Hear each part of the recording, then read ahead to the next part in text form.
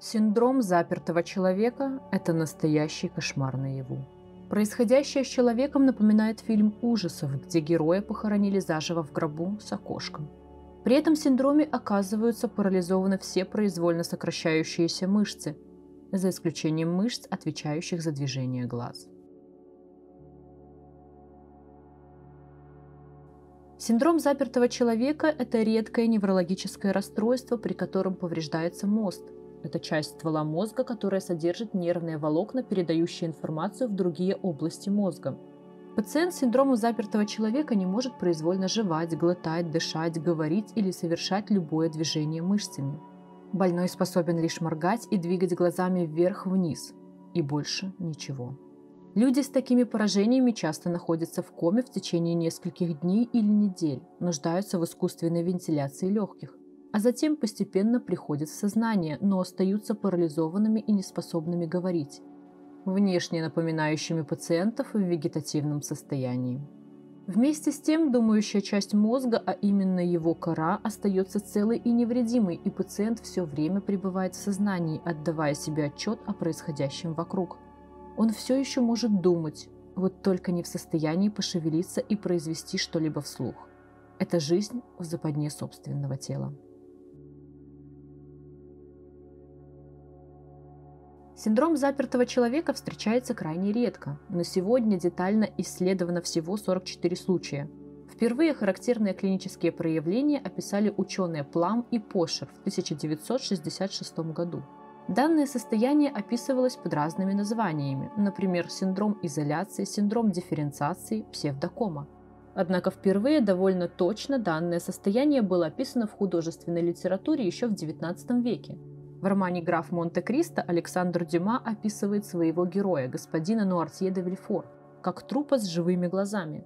Зрение и слух были единственными чувствами, которые, подобно двум искрам, еще тлели в этом теле. В 1868 году Эмиль Зуля в романе «Тереза Ракин» описал этот синдром так. У госпожи Ракин только глаза и были в движении. Они стремительно вращались в глазницах, зато щеки, губы как бы окаменели – их неподвижность наводила ужас. Стоит сказать, что про человека с этим синдромом есть фильм «Скафандр и бабочка», сценарий которого основан на автобиографической книге. Наиболее частая причина синдрома запертого человека – это двустороннее, обширное, сосудистое или травматическое повреждение моста головного мозга – опухоль ствола мозга. Мозг содержит важные двигательные тракты, нисходящие кортикоспинальные и кортиконуклеарные пути. При синдроме запертого человека происходит повреждение моторных волокон и двигательных центров в стволе мозга, обеспечивающих контроль мышц лица и речь. Синдром запертого внутри может развиваться в любом возрасте. Данное состояние имеет две фазы. Острую, которая имеет различную продолжительность и характеризуется анартрией, нарушением функции дыхания, частым бессознательным или коматозным состоянием и полным параличом.